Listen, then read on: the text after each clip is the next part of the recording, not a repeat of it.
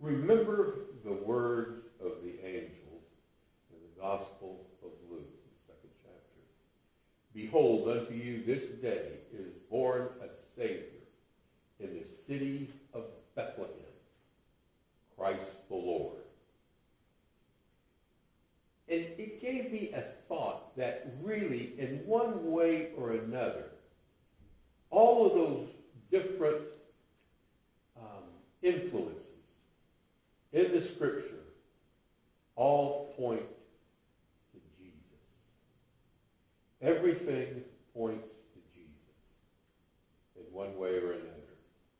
The shepherds abiding with their field flocks in the fields, they head for Bethlehem. They point to Jesus. The wise men, the magi, following the guiding star over Bethlehem, head for Jesus. John the Baptist points to Jesus. Behold the Lamb of God that takes away the sins of the world. That's what he said. In so many different ways, so many elements of the Scripture point to our Lord Jesus Christ. In fact, it can be said that the Bible is a cradle in which we find a babe, the babe at Bethlehem, our Lord Jesus Christ.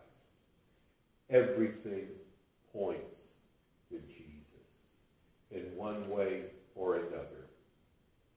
He goes from being a babe in a manger to a youth in Jerusalem to a carpenter in Nazareth to a traveling rabbi in Judea to a disciple maker to a Savior to a resurrected Lord. This is all Christmas. This all starts here. This is where our Savior is born.